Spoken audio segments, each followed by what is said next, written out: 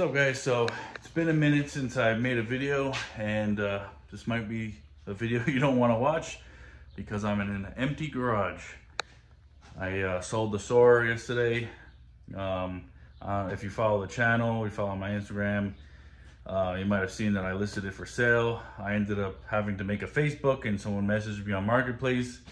They came with cash and I got pretty close to my asking price.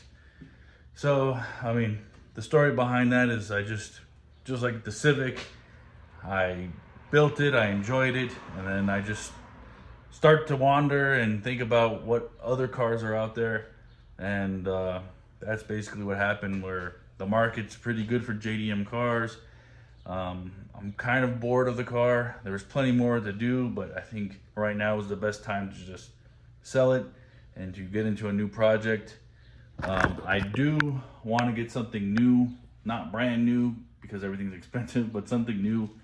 Um, kind of tired of wrenching and rebuilding and doing all kinds of crazy stuff. I want a car that's fast from factory and I put some bolt-ons on and it's just a solid car. There's a couple cars I have in mind. Um, BMW M340i, um, the Audi S4, the Audi S5, um, something at least with back seats. That way my kids can can join me for a ride because they they really like you know being in the car and being a part of it. So leaning more towards the S4, but uh, on the S5 they're basically the same car. Um, I just like the styling, the sportiness, the potential. So that's kind of where I'm leaning, but I still gotta find one. Uh, but enjoyed the Soarer, really loved it. Loved meeting tons of SC um, Soarer community. You guys have been great. Um, all the people that have stuck with me from the Civic build, appreciate you guys. Um, all the DMs I've gotten about, you know, congratulations on the car selling and uh, what's next and just overall being there.